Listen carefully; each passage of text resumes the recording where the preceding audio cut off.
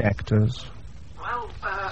We're going to need some actors to say the lines. Uh, oh, Sylvia's here. We, we, we, we've got Sylvia. Oh, good. I, I think Dennis is in his dressing room. Is he sober? Darling, can you get me a coffee, please? Yes, uh, white with two sugars. Black with three.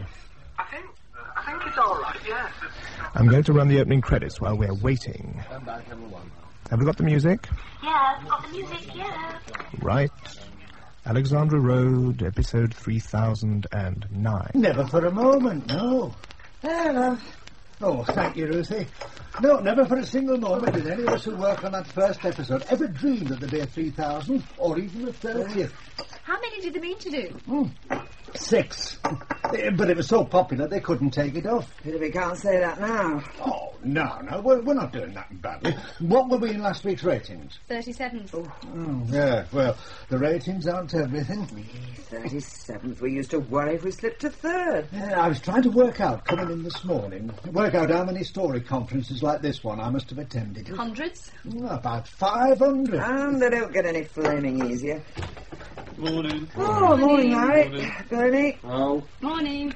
Hello. Oh, full house today then, as it should be. Coffee. Must have a coffee. and I thought it was late. we were just saying, famous day today. Yeah.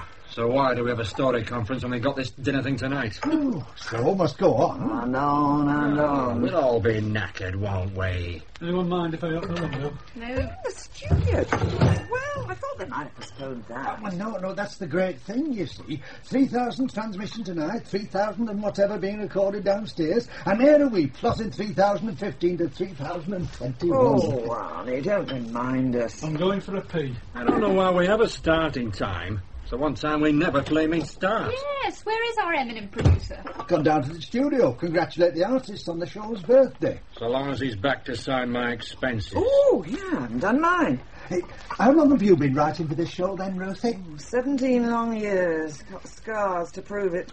and what about you, Mel? Oh, just three. Get out while you can, mate. Bernard? God knows. And Larry, I suppose. Mm, 15, 16. Yes. Hey, has anybody got a pen? No. Sorry. Not, um... Must be some kind of long service record. I We're a mean, add it load of old hacks, my love. That's all we are. Oh, no. Not even raise a pen for me to do my expenses. We work for the greatest show that television has ever seen. Thought we worked for Alexandra Road. A favourite of the royal family. What? I quote the Daily Express. Oh. That Princess Margaret never misses an episode if she can help it. Oh, we can't any of us help it.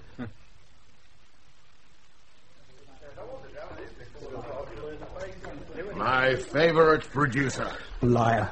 And how are you this morning? I'm worrying about my speech for tonight. Michael, a man of your talent. You don't have to worry. No? No one will be listening to a word. Huh. Yes, love. God, he's a pain. Anyhow, let her go. yes. Ah, My darling. Sylvie. Mm. Happy 3000th, darling. And to you, love. Coming, Jeremy. My, Mike, I must see you. Uh, uh, well, I um, know it's a bad day, and you must be up to your ears in it, but, but how about lunchtime? uh, uh, yeah, o- okay, in my office. You're lovely. What? Oh, hello, Sam. I'm lovely. Anyway, excuse me, I've got to do myself. About time. Well, not often we have Mr. Head of Series and Serials come down to see us this time of a Wednesday morning. No, well... Come to tell us we've all got a rise to celebrate the 3000th. No. Ready? no, no, I bet you haven't. Hello, darling. Are you coming? Uh, no, no. This, this is the scene where uh, this morning, club not open, Ada's bagging some loose change. And you come in, Father O'Flynn. To Be sure to do it off. Right, okay. Uh, quiet, please. This, this is a rehearsal. No. And cue Ada.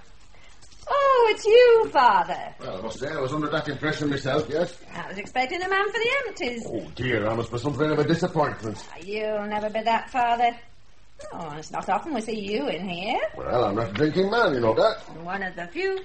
Actually, Michael, yes, I was hoping to have a word. Oh, sure, sure. I mean, I know today's going to be a hell of a day for you, so I thought I'd get in early. Uh, yeah. Should we go out to Uh, yeah, yeah. Any excuse to get away from this You rubbish. never find out. I'll tell you one thing, though.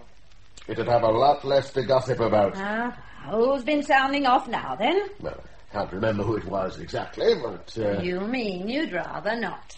Ah, yes, perhaps I do, but... Uh, The word was that you were still keeping company with Ellis Smith. And I thought you'd come in here to lumber me with a load of raffle tickets, Father. You're joking. No, we want to bring the show off. Bet it. Alexandra Road? Yep. No. Sam, no. Sorry. We're a national institution. Well, admitted. It'd be like knocking down the White Cliffs of Dover. Have you seen this week's ratings? We're not exactly at the top anymore. Last week's ratings? The ratings for the past year? We'll come back. We'll climb back. You up. won't. I am sorry, Mike, but you will not. When do we come off? Three months. Oh, Look, Mike, how often have you complained to me about the difficulties of finding new stories? A cast that's too old. we're bringing in new people. Oh, yeah? Amanda. Amanda Schofield. Yeah, all right. So you've got one punk squatter. It's a start. I'm sorry. Oh, Mike. come on. Look, Amanda Schofield's very good, but she's not going to change anything, and you know it. And today. Today of all days. Well, that is a bit unfortunate. I have to stand up there tonight and make a speech about what a wonderful show this is, knowing all the time that it's coming off. You can do it. Ha! And I don't want this leaked, right? This is our secret. I don't want the press to get hold of it. Sam, you're. You're an old friend. I mean, we've worked together for this company for. Well, for I don't know how long. Seven weeks. I came here from Thames seven weeks ago. Well, it seems longer. I mean, you said three months. We come off in three months. Yeah. Suppose. Suppose in those three months we got back to the top of the ratings. Impossible. if, if we did. Then we'd think again. But personally, I think the age of miracles is well past. So I have to pretend. As far as all the cast are concerned and the writers, I have to pretend. Business as usual, yeah. Hmm. The show must go on. For three months, and then it's got to come off. Could Ethel get pregnant? No. She must be over 50.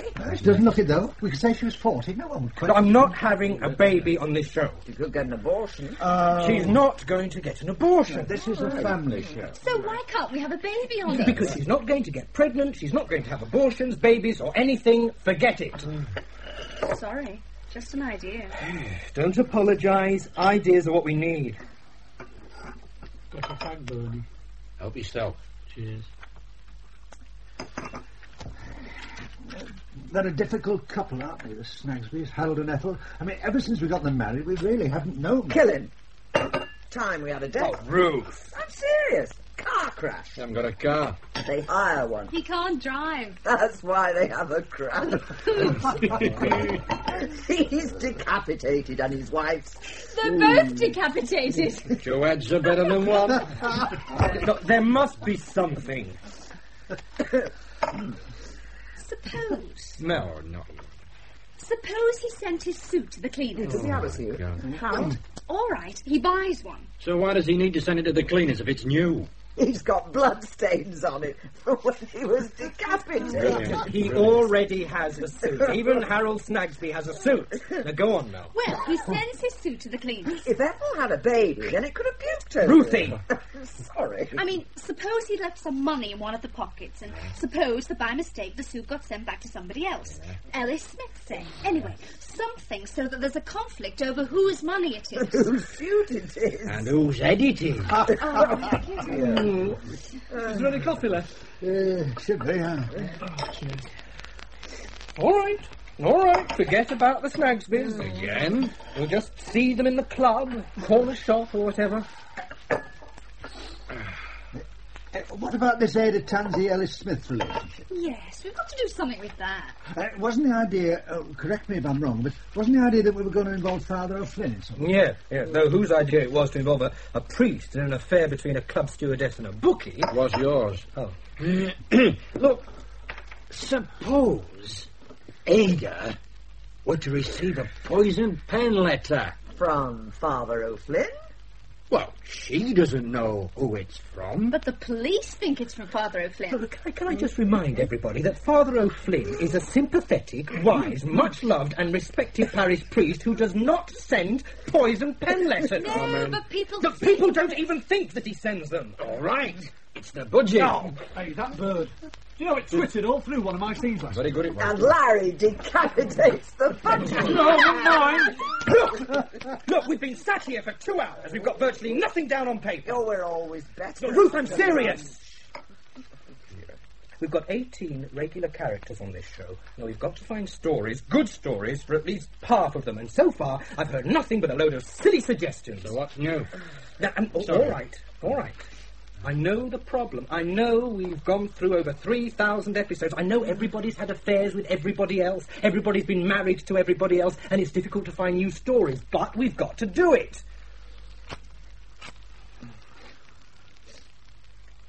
I've got to feed my meter. Oh, God. Shan't be long. I don't know why he bothers coming in. Somebody been getting at you, Michael? Never mind. Yeah, not his usual happy self, is he? Change of life. Stories, come on, I want some good stories. Uh, what about our little Amanda? Yes. Yeah, good, isn't she, that And girl? she is. And she's young, and she's fresh. And she hasn't been married seven times like all our other boring old characters. Oh, now, Mike, be fair. I'm being fair. Well, suppose... Mel. I mean, she's still squatting in number seven, isn't she? Yeah. Suppose that Louis pays her another call. Our friendly Jewish landlord. We've never said that he's Jewish. Not Chinese, is he? He pays her another call, has another go at getting her out. We've played that scene so many times. Wait, look. and she says, will you let me stay if I paint the house, right? I didn't think Pumpland ever painted. Mm, paint themselves. Oh, yeah. And he says okay. Louis, he says okay. He'd never say okay. He might. If it gives us a story, he might. So she paints the house, only of course not in the style that he wants. Punk house. It's a punk house. I like it. It's a story. Not much of a story, but And a jar of that there beetroot. Always been partial to a bit of beetroot on his barm cake, has Harold. Right. No, I could tell you a thing or two. You know that my house faces onto that club. Is that all? Well, there are worse things to face onto. No, I mean your shopping. Is that all you want? Oh, yeah. Oh, but the times of the night I've seen that Ellis Smith leaving there, well, you wouldn't credit it. One pound seventy-four. Hmm, I used to be one of them that stuck up for Ada Tansey, but not anymore, I don't. Well, I'm sure that Ada will be very sorry to hear that. Losing your good opinion. Be like losing so much she never knew she had. Right, uh, hold, hold it just a second. I, I think that was all right. Another gem? Could you hear my tummy rumbling through that? no. Yes, we'll buy that. Okay, uh, lunch, everybody, please. You're joking. Michael, I haven't slept a wink this last week worrying. Am I doing the right thing? I'm not surprised.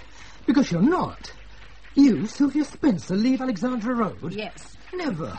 I'll do these studios now, and then that's it. But Alexandra Road without Ada Tansey, it's, it's unthinkable. Is it money? now be straight with me, Sylvie, please. We've known one another a long time. Is it the money? No. No? It's the role. I'm sick to death of being Ada Tansey. Oh, it's a wonderful role. Ada Tansey and her budgery I'm darling. sick to death of not being able to walk down the street, get on a train, go shopping, or anything without having women pointing and men pointing and shouting. And giving me sprays of millet seed. Because they love Oh, you. They don't love me. If they love anything, they love the character. They don't love me. You are the character. I'm not. I'm me. And I'm tired of playing second fiddle to a stupid, vulgar woman who dresses like a cheap tart. You can't do it. Why not? We have you under contract. So? So. So please don't do it, Sylvie. Please don't. I'm sorry, Michael. I've a letter of resignation here. I won't accept it. I won't even read it. Michael, I'm leaving the show. People have done it before. Not Ada Tansey.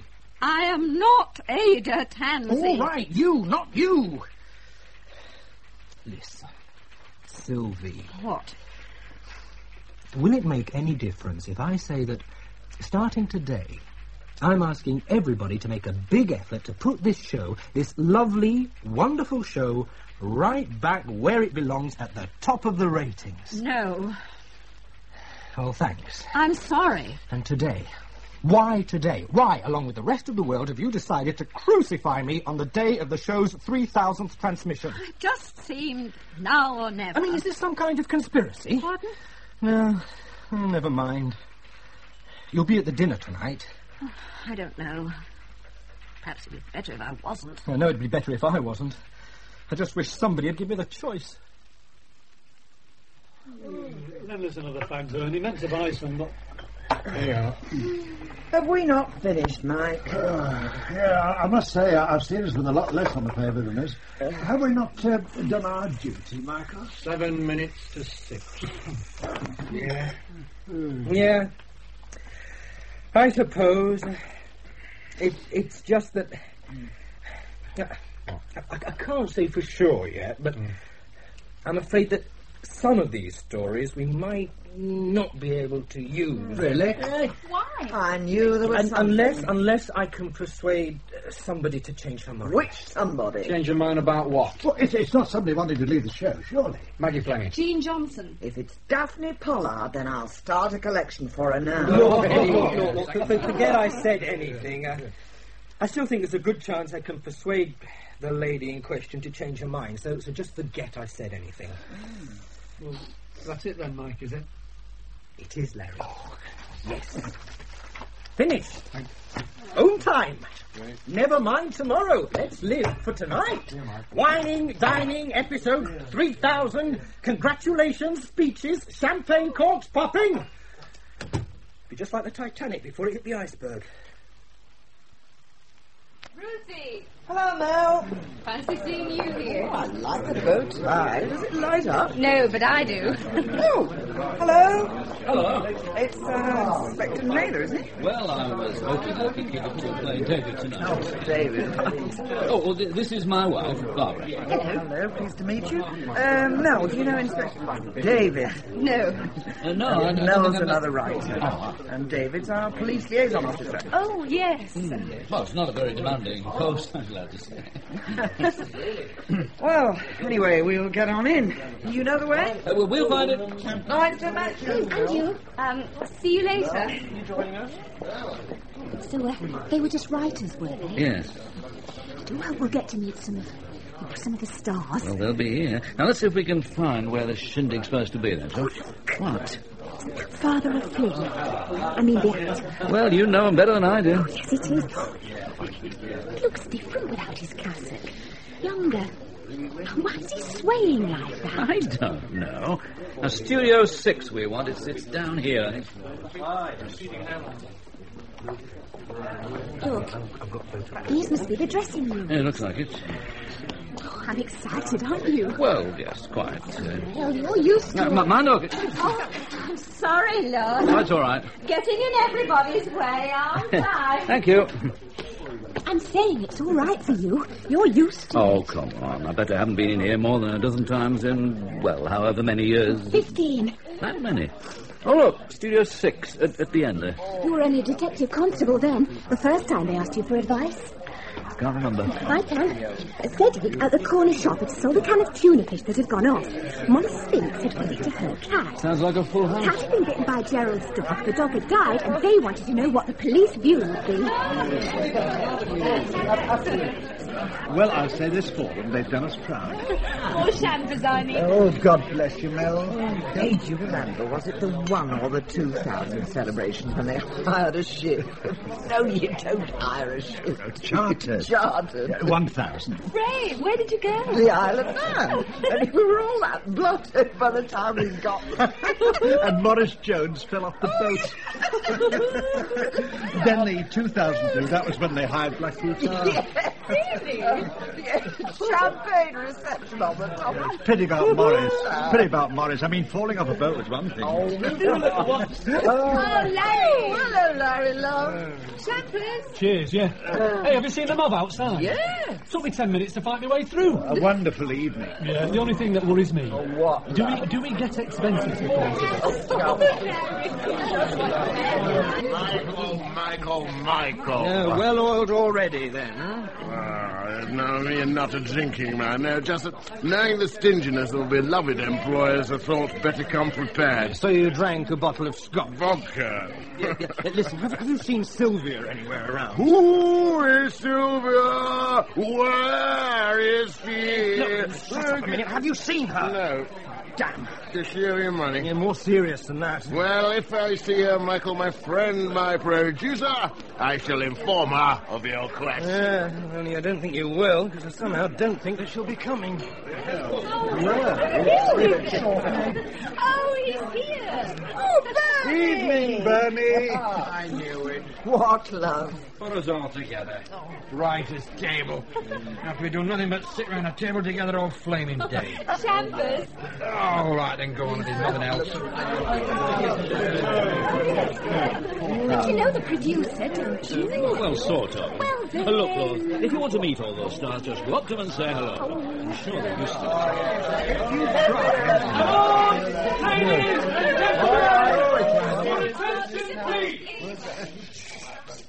red corner. Thank you.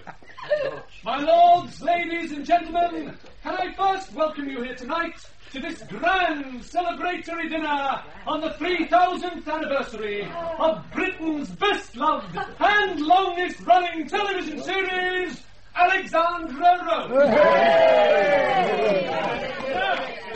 And now, the order of events this evening. First, we will Get drunk. First, we will, together with the nation at large, watch tonight's historical transmission of episode 3000. Ah, God. You will, I am assured, all enjoy it enormously. Oh, Now, Dinner will be served. And will be followed by a few well-chosen words from a few well-chosen people.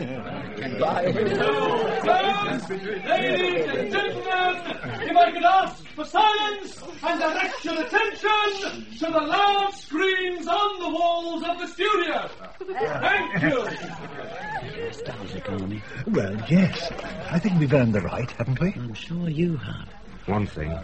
Number watching in here tonight. Must put the viewing figures up. Well, here we go then.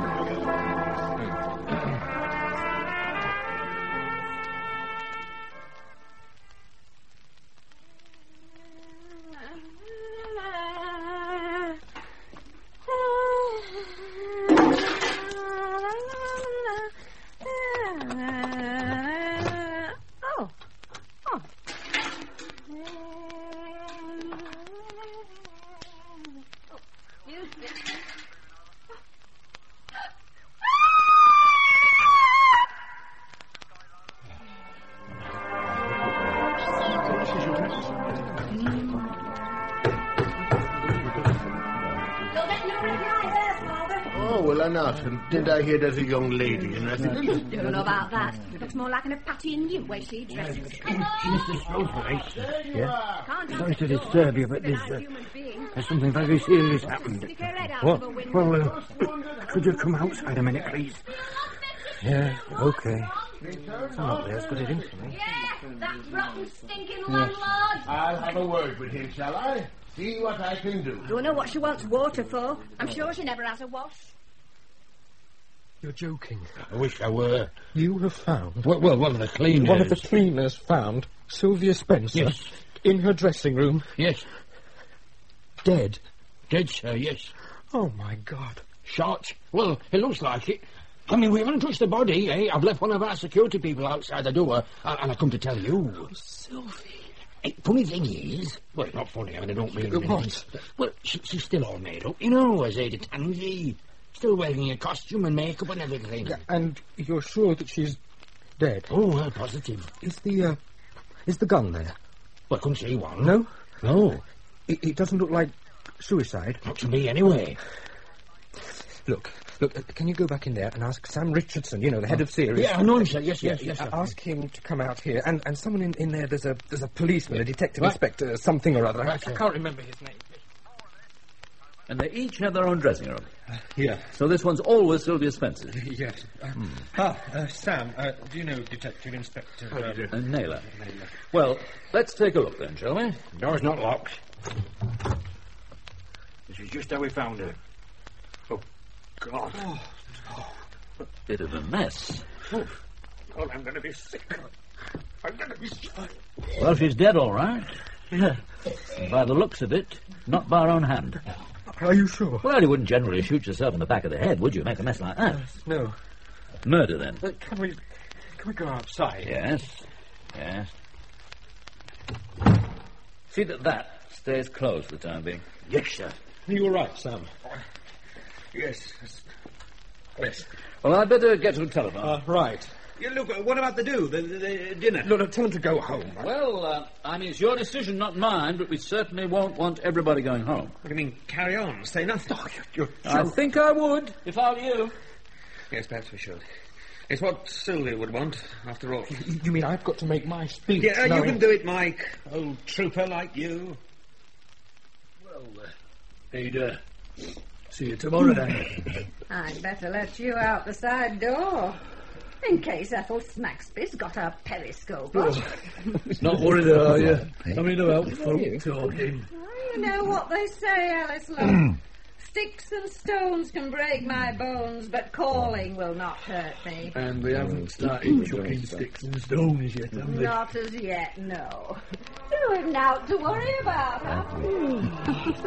Congratulations, Arnie. Oh, thank you. Very nice, Arnie. Well, I tried to write an ordinary episode. Nothing special. Oh, uh, I think you managed that. Yeah. Oh, I found you then. Much to the delight of a young lady I was about to take out. she said, Well, I knew you were a policeman, but I didn't know you'd take it that seriously. Well, you don't, do you? No. Where'd they find you then? You look as though you were out somewhere posh. I was here. Here? At the dinner. On the spot when it happened. well, I've sort of advised him on uh, police procedure from time to time. Oh, so very not- nice. I must admit, I don't think I've ever watched a single episode. No, my wife. My wife is an addict. Anyway, Yeah. photography's been. Pathologist is in there now. Yeah, fingerprints are on the way. Good. I passed Henry in the station, actually, getting his gear together, but you know what he's like. Uh, all fingers and thumbs. yeah. Uh, not much doubt that it's murder, is there? No, it's murder, all right. Apparently, they finished recording at six. Yeah. Sylvia Spencer had been in the studio playing this this um, Ada Tansey character that she does. Mm-hmm. Well, she came back into the dressing room and sat down. Yeah. And somebody came in and blew the back of her head off. My lords, ladies and gentlemen, pray silence for the producer of Alexandra Road, Mr. Michael Spilsbury. Lord Mayor, honoured guests, ladies and gentlemen, members of the cast. Hands up, everybody who's seen all 3,000 episodes. I don't believe you. No, I haven't. Then I'm not old enough. Actually, I, I've got Edith, our historian. Now she is old enough. Oh, just, just a joke, Edith, love, just a joke.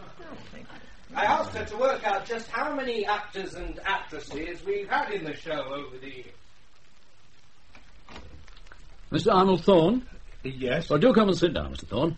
Now, I'm Detective Inspector Naylor, and this is Detective Sergeant Glavery. And for the moment, at least, we're in charge of the investigations regarding the death of Sylvia Spencer. Yes. Now, you're a writer on the programme, Yes. and I believe that you saw, well, you, you spoke to Sylvia Spencer earlier this evening. Yes. See, what we have to do, Mr. Thorne, is to try and establish a precise time of death. Oh, yes. Uh, yes, yes, I, I used to write for Dixon Dock Green and on one occasion Z-Cars. Z-Cars? Well, well, only the, the once. It wasn't really my style, but it means I am familiar with police procedure. I see, yes, yes. So, do you know what time exactly? Well, we had a story conference today that finished at six o'clock. And then uh, I came down to the dressing room to see Sylvia. She'd just come off the set from playing Ada Tansey. You've seen the show. Yes. Oh, yeah. A character to rank alongside any from Shakespeare to Dickens, in her own way. And she was all right when you saw her. Hmm? Yes, yes. I, I just chatted for a few minutes and then left. Why did you go down to see her, Mr. Thorne? Sergeant, Yeah. there are very few people left in this company who worked on episode one of Alexandra Road. Sylvia and I are two of those people.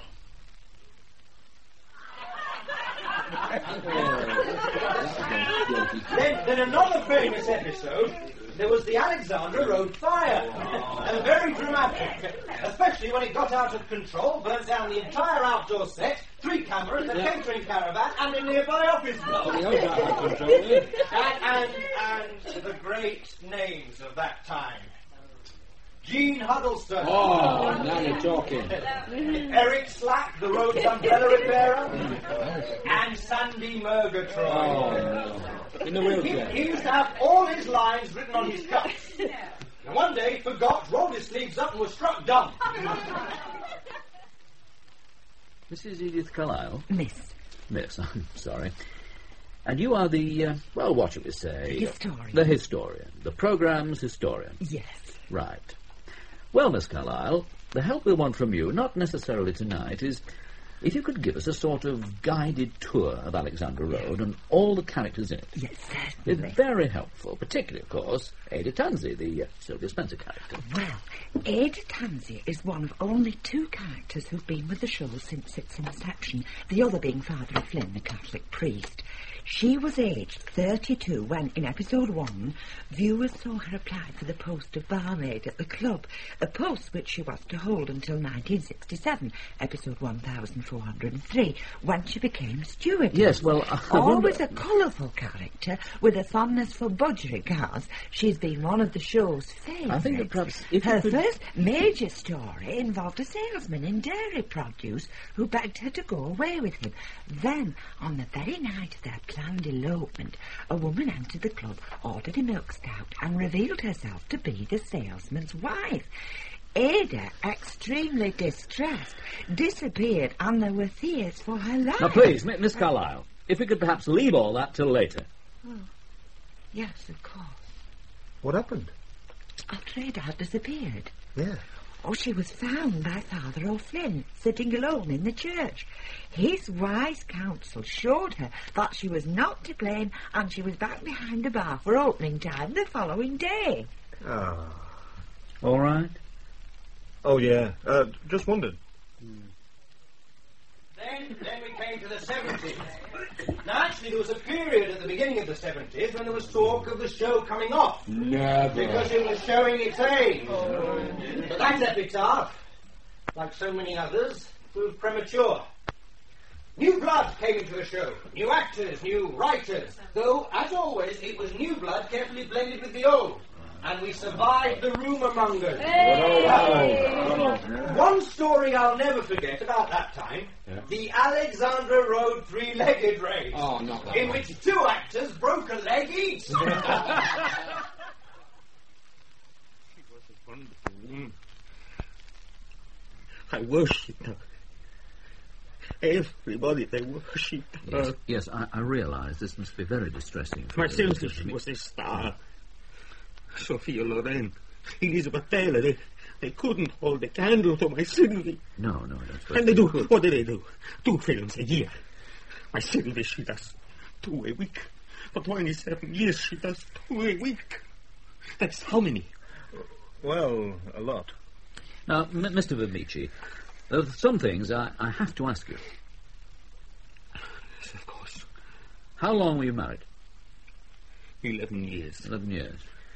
And, and always happy. For 11 years, we were happy. We met. I remember it. It was a summer's evening in La Grande Placcia di Venice. Oh, yeah. You know the restaurant? No. It's down the East Lancs Road. Can you tell us anything about her state of mind? I, I, I mean, today, recently. Was there anything worrying her? Nothing. No? For 11 years, nothing worries her. No. For 11 years, every minute, every second, she was happy. Yes? Except, of course, for the threats. Pardon? The threats. What threats? The threats in the anonymous letters. Come again. This is, uh, this is something we haven't heard about. Defects? Yes. Oh, one each month for three months, all saying the same thing that she must leave the show or, or else. Leave the show? Or else. Or else what? Or else she will end up like the dead budgerigar. What dead budgerigar? With each letter there is a dead budgerigar. I told her somebody is sick. Somebody is jealous that she is such a star. Uh, maybe Elizabeth Taylor, maybe she sent them. You still got these letters? No. Ah. No, I, always I, I burned them. It's a pity. But I have the budgerigars. Oh? I buried them in the garden. Unless the cat has got them, they should still be there. So, so, ladies and gentlemen, it's my pleasure and privilege tonight to ask you all to join me in a toast. So, if you charge your glasses, oh. and that's if there's any booze left, if Dennis Moon hasn't had it all. Oh, oh, Ladies and gentlemen, to Alexandra Road. God bless it, and all who live on it.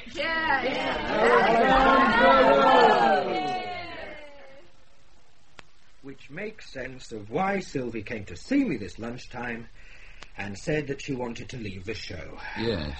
It wasn't because of what she said. Wasn't because she was fed up with the part or with the publicity. No. It was because of the anonymous letters. Well, it, it looks very much like it. She must have been terrified. Yes. It's a pity she was such a good actress. So she pretended that she was tired of being Ada Tansey because she didn't want to admit that it was the anonymous letters that were frightening her out of the show. Sorry. Uh, it's been a hell of a day. Found one. On what? Bottle with some champagne left in it. Oh, I'm surprised. Anybody want some? Go on then. Oh, why not? It's a pity that those anonymous letters were burnt. But at least we know the dead budgies were real. How'd a constable go around and dig them up? Rather him than me. Cheers. Cheers. Cheers. The pathologist's initial impression is that it's definitely murder. Budgies? Oh, sorry. Sylvia Spencer. Yeah. Now, what's what's unusual about this case? I mean, in in a way, there were two women killed tonight, weren't there? Sylvia Spencer and Ada Tansey. Now, which was it that our murderer thought he was killing? Hmm? Ada Tansey. You think so? Well, A. She was dressed as Ada Tansey. Makeup, wig, everything, yeah? Mm, yeah. B. Dead budgies. They were a trademark, weren't they?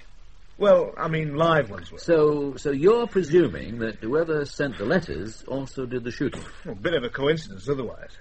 So, it's not so much who shot Sylvia Spencer as who shot Ada Tansey. Yeah. Hmm. Anyway, look, I'd better get home before I fall asleep. What, what's your routine for tomorrow? Oh, don't ask, please. Well, it's just that. Uh, No, no, it's a studio day again. Recording. The show must go on. God knows why, but. And I suppose, I don't know, but I suppose that we're going to have an emergency story conference to sort out how Alexandra Road carries on without Ada Tansey. Morning, Ethel.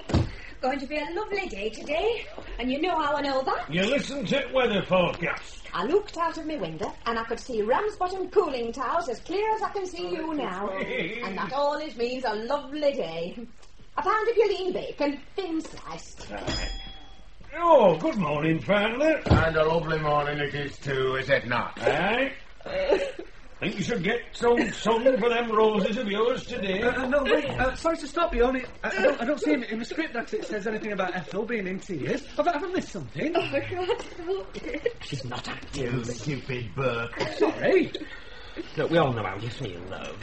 I don't know, it doesn't seem right without Sylvie. I know. Listen, Al- Aubrey's coming down from the gallery. He, he wants a word himself. Oh, I'm sure that I would also be in tears, dear, except that the alcohol still flows in my bloodstream from last night, numbing all feeling. No, but who could have done such a thing like that? I mean, she was such a lovely person. Mm, she was. Now then, darling.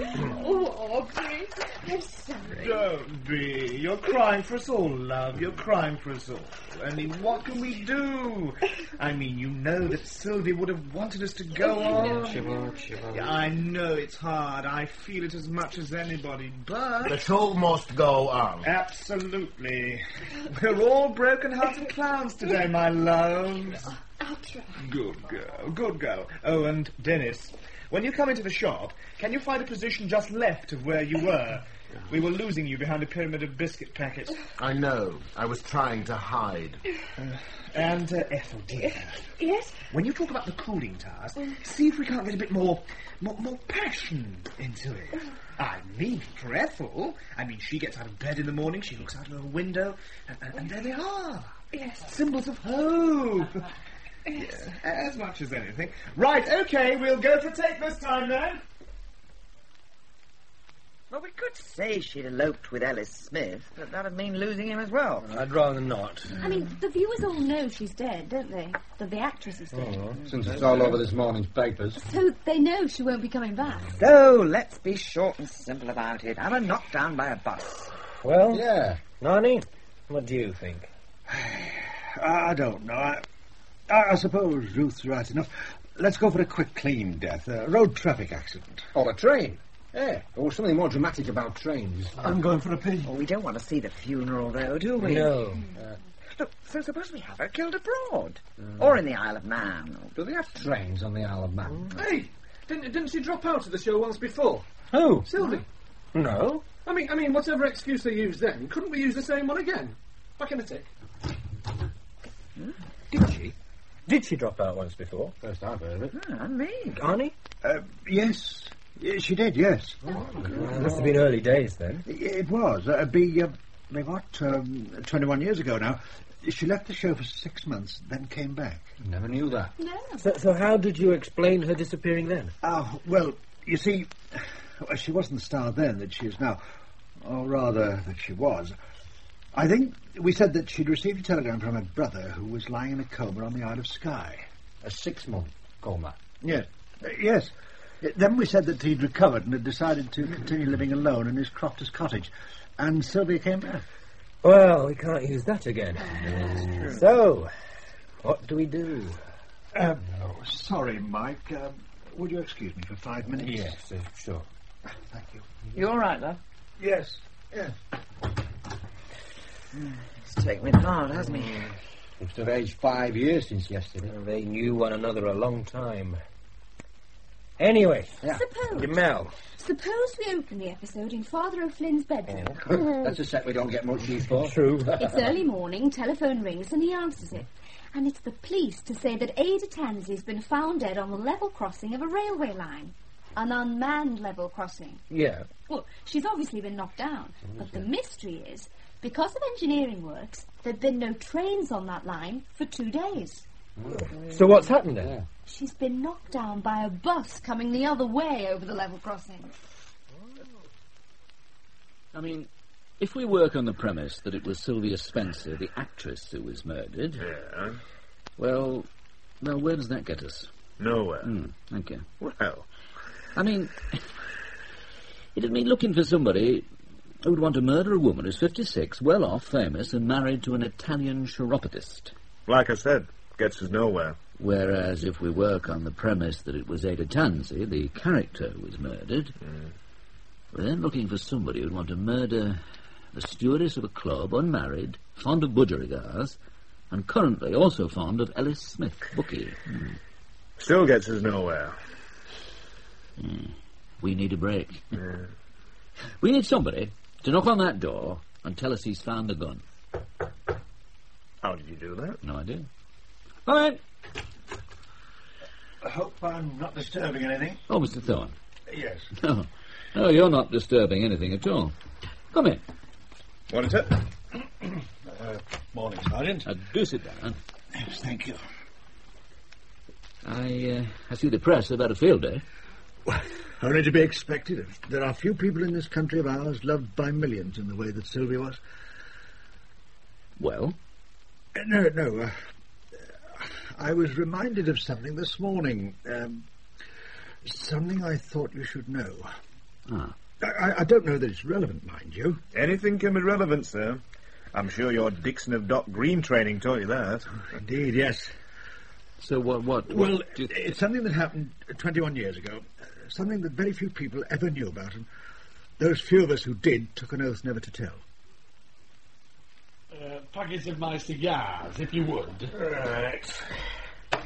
Pound and tenpence. And uh, how's business with you then, father? Nothing very new or surprising. Oh, well, let's hope it's the same with the three o'clock at Doncaster. Ta-ra! Bye now. Ta-da. Well, father, there's him serving Mammon and you serving God. And me serving both of you. Uh, yes, right, that's fine. Thank you, everybody. Ignorant shopkeeper. Uh, D- Dennis, message from upstairs. The police would like a word. With me? The constabulary? Well, uh, apparently. Time to put him away. Do you think it'll help if I keep my clerical collar on? I'll bet you brief for you. We'd like you to confirm, if you can, something we've only recently discovered about Sylvia Spencer. I'll uh, be glad to be of any assistance. Apparently, 21 years ago, she left the programme for several months. You remember that? Yes, I uh, seem to have a vague recollection. We believe that she left to have a baby. And we also believe that you were the father of that baby. Well, you have done your homework. True, then, is it? It has the dreadful ring of truth about it, I must admit, yes. Ah. Do you mind if I have a little nip? Pardon? From my flask. Oh, no, no. I carry it for moments such as this paternity suits, parking tickets, and the like. So you and Sylvia were lovers? Briefly. Long enough to produce a very embarrassing situation. I mean, it wasn't just one of your leading ladies being put in the club. As if that wasn't bad enough, it had to be Father O'Flynn that had put her in it. I mean, it's not the kind of thing that the good father should be getting up to in his spare time now, is it? Which is why it had to be kept a secret. Yes. They packed the poor girl off to somewhere in the Lake District. It was out of season, and she was able to give birth without attracting a crowd. The little bambino was adopted by good, honest folk who were paid for keeping their mouths shut, and hey presto, all was right in our little world again. You can't see any possible connection between all that, all that happened 21 years ago, and Sylvia Spencer's murder? None. Oh, unless you think it gives me a motive. Father Flynn, womanizer and murderer. Be saying I drink next. Hmm. Well, uh, well, we'll leave it at that for now, then. Uh, look, Inspector, can I ask you one favour? If I'm not too late already. What? Just that you don't tell Amanda who her real mummy and daddy were. I mean, unless it's strictly necessary. Amanda? Amanda Schofield, Yes. who plays Denise Platt. You mean that she's, uh... You didn't know? No. No. Ah. Well. See what a helpful citizen I am. Have I got this right? The child that you and Sylvia Spencer had is actually Amanda Schofield. They say it's stranger than fiction, don't they? Or to put it another way, Denise Platt, the road's punk squatter, is actually the real-life daughter of Father O'Flynn and Ada Tansey. The other side of the coin, yes. But she doesn't know it. Not unless you choose to enlighten her. Well, well, no. Not unless we have to. Thank you. I can... Yes, um, yes, you can go now.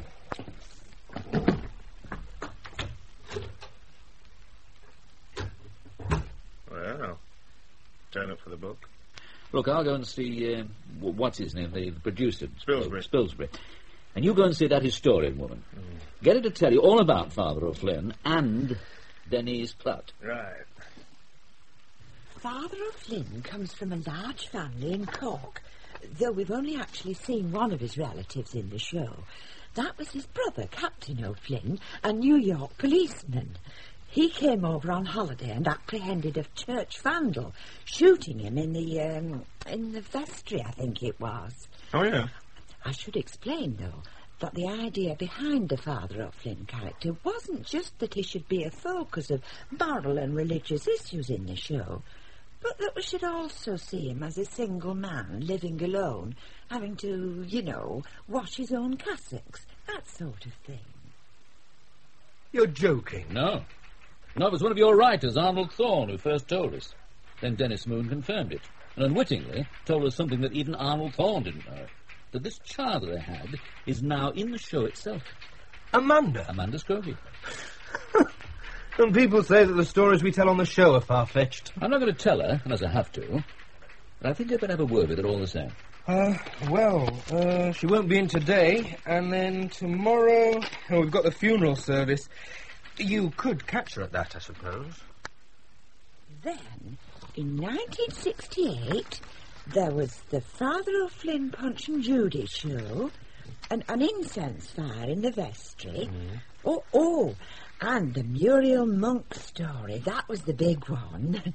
Yeah. Muriel Monks became infatuated with Father O'Flynn and started to make advances towards him. Huh? He, of course, had to reject her, Hmm. which so humiliated her that she went round telling people that it was he who'd been making indecent suggestions to her. And what happened? Oh, well, of course, nobody believed her, and she was sent to Coventry. Yeah. The last we heard from her was a postcard with a picture of the cathedral. Oh, thank you, love. I looked through those magazines. Oh, not green beans, have you? Do you good? No, you know I said I'd find those articles on Ada Tansey. Hmm? Well, I found them. There are three of them. Oh, I'm turning into an expert on that programme. I don't know whether there'll be any help. They're all about her early days on Alexandra Road, things like that. Do you want any sauce? Please. How she modelled the character of Ada Tansey on her cleaner, Thanks. I had a taste of these green beans. the woman who cleaned for her. Oh, yes. Anyway, you can read them for yourself later.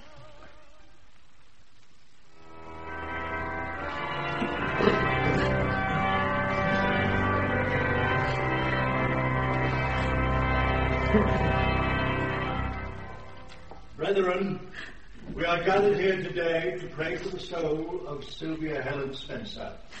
May God have mercy on her and think not only of her trespasses, but also of the happiness she brought to millions in her role of Ada Tansey. Amen.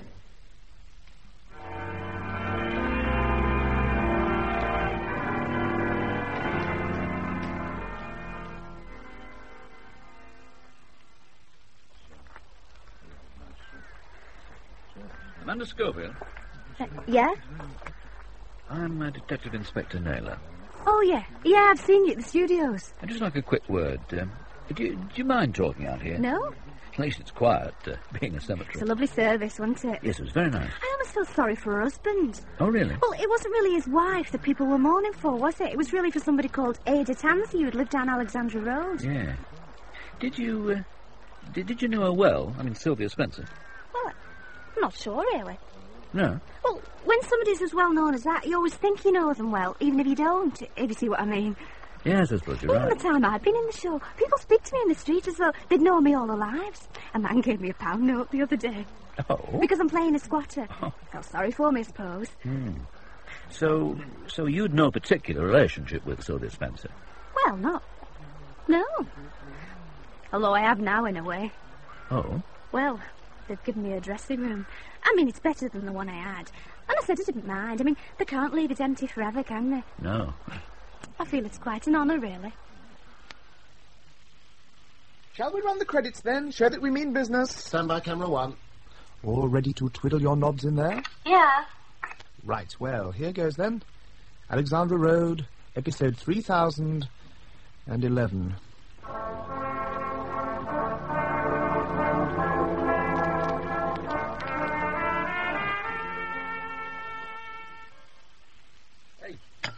There was a church in Chesterfield. Did you read it? Had an Ada Tansey memorial service. Oh, very nice. They called a street after her in Warrington. Really? Mm. Ada Tansey Street. Oh, What a wonderful address. Morning, Larry. Good morning. Yes. Cheers. Well, the thing I don't like is still seeing her on the screen. Yes. I mean, we record, what, about three weeks ahead? Yeah. So we're going to see her for another two weeks. There's something faintly gruesome about it. I'm beginning to feel like part of the furniture around here. I know the feeling. Hey, uh, Didn't you see the chief yesterday? Oh, Yeah, well, You've been keeping your ear to the ground. I'm a detective, Answer. Morning. Good morning, Miss Schofield. It's still raining. No, no, Hello. not now. Morning, love. Oh, morning. You're going to get your glad rags on then? Yeah, back to squatting for a living. See ya. Very nice. She is. So then, What? so what did the big white chief have to say for himself then? Oh, well, he understood the, uh, the peculiar complications of the case. No witnesses to the shooting, no weapon found, but they've already had a week and got precisely nowhere. If we can't do any better, then he's going to put somebody else on it. Well, I had an idea. You know, we're always saying we need a story for the Snagsbys. Mike? Hmm? No, sorry. The Snagsbys. They need a story. Exactly. Mm. So, how about if Ethel was to win the competition? Oh, no. Oh, shut up, you. Oh, I hate stories that start with people winning competitions. Why? Somebody has to win them. But why is it always our character? Oh. Oh, Mike. What? Oh, sorry. Oh, he's in a world of his own this morning. Can I please have Ethel winning a competition? A small competition. A small competition with a tiny prize, yes? Look, you might as well all know now. The show's coming off. No. Alexandra Road? Coming off. That's all we need. Yeah. I can't believe what I'm Look, I'm sorry, but there it is. Why, Mike? Because we're not getting the ratings anymore. Sam Richardson told me last week, before Sylvie. And I don't see why I should keep on pretending. You might as well all know. Oh, no, I can't believe it. Well, I wish you'd said earlier. I've just gone and bought a new typewriter. Sorry to bother you again, Miss Carlyle. Not at all. Only we, uh. Well, we're making progress, only not like as quickly as we'd like, if you see what I mean. Anything I can do? Well, if you could tell me about any acts of violence, or, or murder, even better, that you've ever had on Alexandra Road. Uh, it's an idea of my inspector, actually, in case, as he puts it, this is an example of life imitating art. Well, we haven't gone in much for violence. No. Still less for murder. You see, the trouble with killing off characters is that although it might give you strong story for three or four episodes, it then leaves you with one less character. I can see that, yeah. So, murders. Now, we have had 11 deaths over the years, usually due to actors or actresses coming to the end of their contracts and wishing to leave the show. We usually kill them, Yeah. but always by accident, disease, or, or in one case, criminal neglect on the part of the council. Th- That was when Gloria Tyson fell down an open manhole. Otherwise, let me see. We've had three attempted suicides, all failed, uh, seven cases of broken limbs, and one severe groin strain. But I suppose they aren't really in the same category. Oh. Nothing, then. The nearest she could remember was in episode 1000 and something or other when Louis, the landlord, was suspected of murdering one of his tenants, dismembering a body and transporting it away in the boot of his car. Oh, really? Turned out it was a shop window dummy that he was taking to his brother Moshe, who runs a dress shop in the high street. Oh, Caused quite a stir at the time. it doesn't get us anywhere. No. So, short of something really dramatic happening, looks like we're up against a brick wall.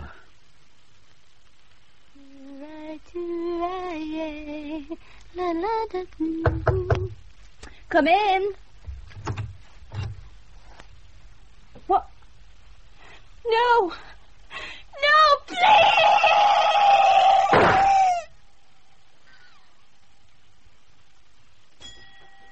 Morning, Ethel. Hey, have heard? Depends what you're talking about. Ada Tansey's been knocked down by a train. Nay. That's right. At least they say as it were a train. Hey, Studio! There's been another shooting! Quiet, please. Another No. shooting! has been shot! I'll shot for real. Oh, my God! They're going to shoot us all! Down, get down. Come on, under the counter now. Is she dead? Who are you? The police. No, she isn't dead. It's no thanks to you, is it? Did anybody see who did it? Have you sent for a doctor? Yeah. Yes. What, nobody saw anything? I think the bullet's only grazed her and she's like fainted. Thank God. That's a bit of luck, huh? Yeah. No witnesses, again. Except for Amanda, yeah? What, she's, uh... They're not dead, no, so when she comes round, she can tell us who it was who tried to kill her. In the meantime, I want nobody let out of this building without us knowing about it, right? Nobody.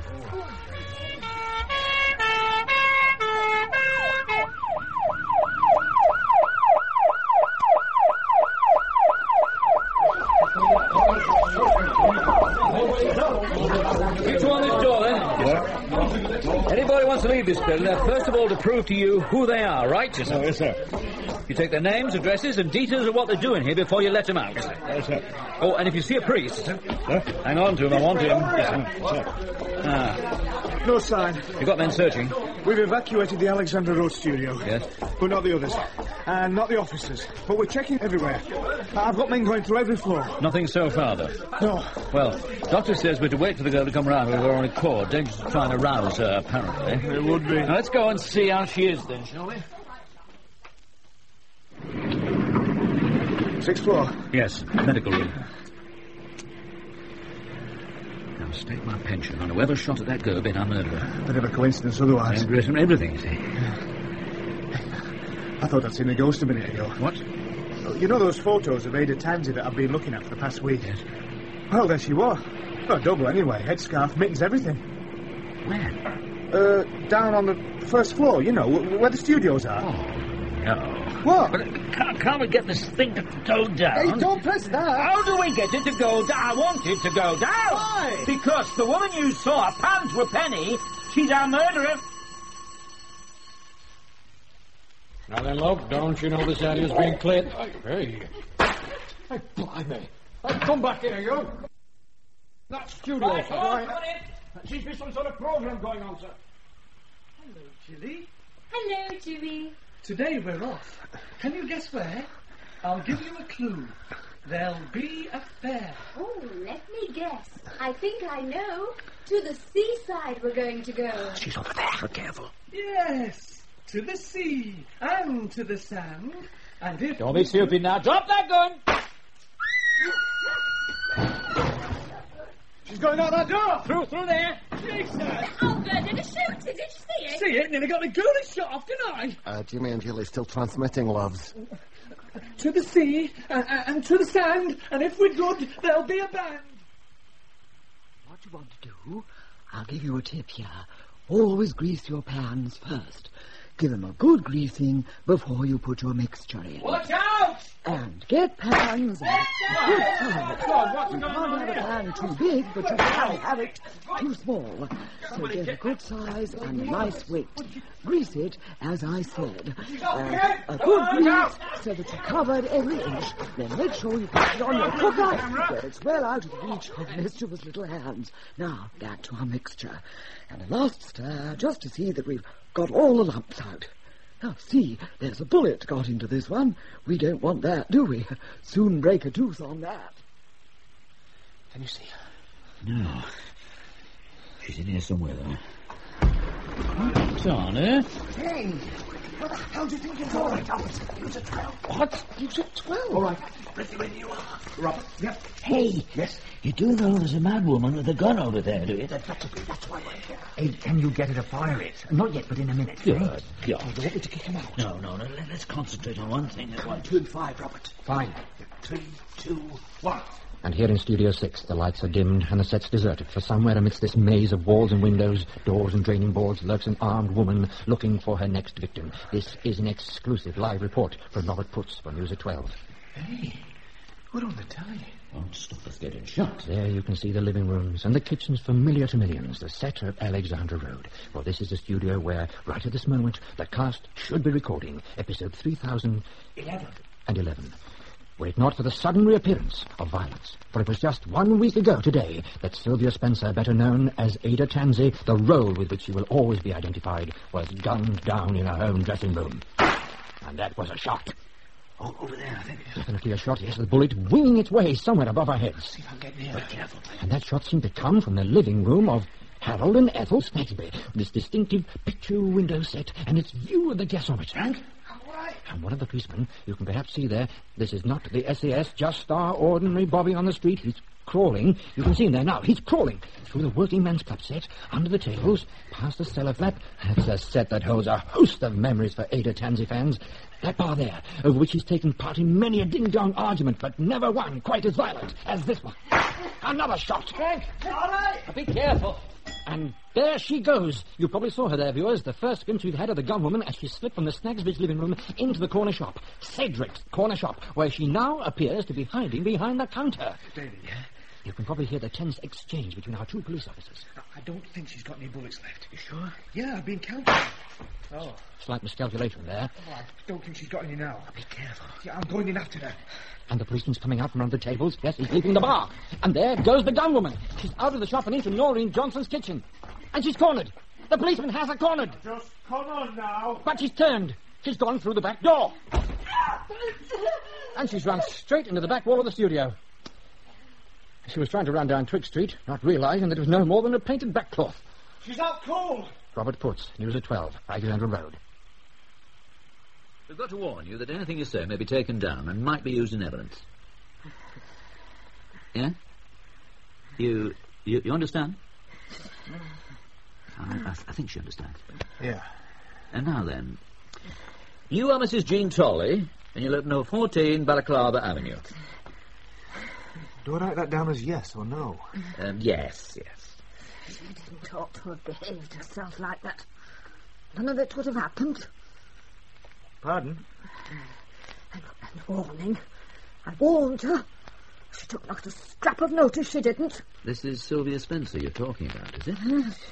You used to work for Sylvia Spencer as a cleaner. Didn't you, Mrs. Tolley? Mrs. Tolley, did you kill Sylvia Spencer? Did you kill Ada Tansey? Yes, Thank you. yes. And had a right. And had a duty. On account of wasn't she shaming me with her carryings on? Wasn't it getting where I couldn't show my face in the street for what folks would be saying about me? The carrying on with a, a married man and a bookkeeper who's never seen the inside of a church or, or known an honest day's work in his life. You see, this character Ada Tansey had been based on this woman, Jean Tolley, year, years ago. How on earth did you find that out? Yeah, how did you? It was in one of my wife's magazines. Oh. So this Jean Tolley, she'd identified with Ada Tansey, is that the idea? Exactly. More and more as years went on, till she saw the character as some kind of portrayal of herself, as though she were leading a second life on Alexandra Road. A real nutter. Oh, so when we start telling the story of Ada's affair with Ellis Smith... She saw it as something that was happening to her personally. Amazing. And apparently, from what we can discover, she's the sort of woman, I mean Jean Tolley now, not Ada Tansey, Yes. she's the sort of woman who thinks of herself as respectable, church-going even. Yeah, which I must admit Ada Tansey used to be.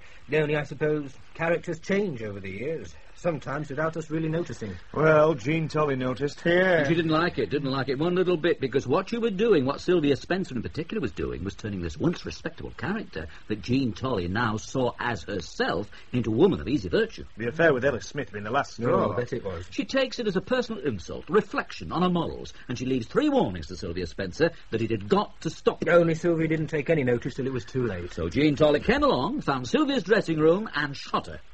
With her own gun as well.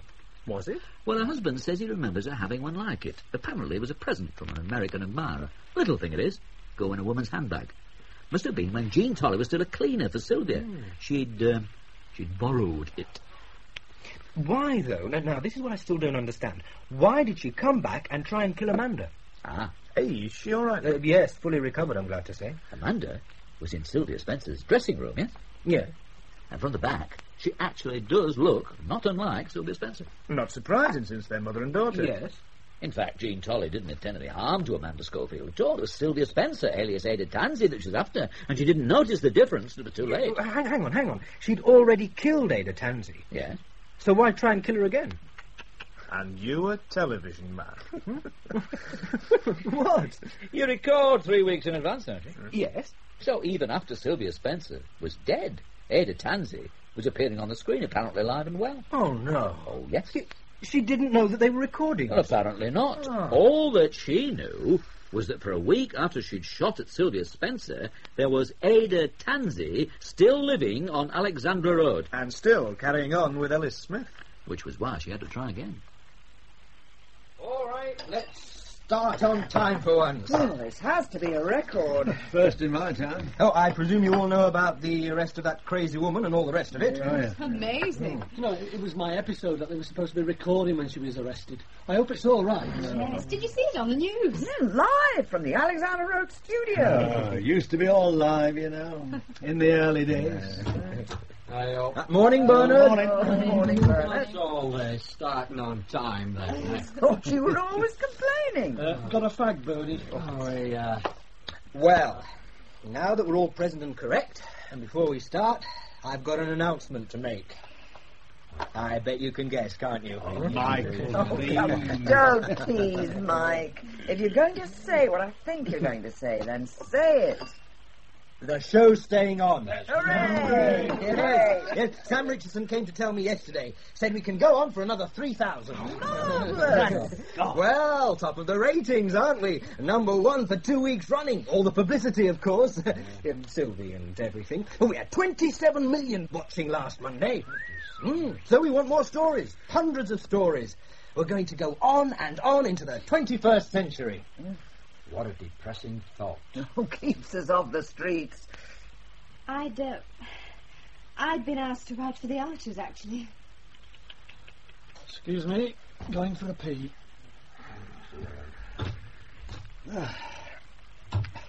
Well, do you think it'll ever end? Or is this really what people mean when they talk about eternity?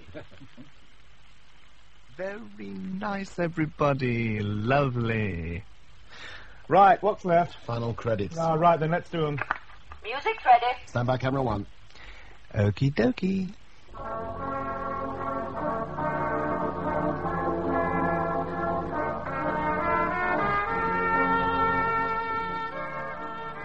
In Who Shot Ada Tansey, David was played by Derek Smith, Frank by John Branwell, and Mike by David Fleeshman. Robert Keegan was Arnold, Keith Clifford Bernard, and Bernard Latham Larry. Ann Rye played Ruth and Edith, Sue Jenkins Mel and Denise, and Rosalie Williams Sylvia and Jean. Kate Lee was Ethel and Barbara, Russell Dixon Sam and Luigi, and Roger Phillips Dennis. Other parts were played by members of the cast. Who Shot Ada Tansey was written by Peter Whalley and directed in Manchester by Caroline Smith.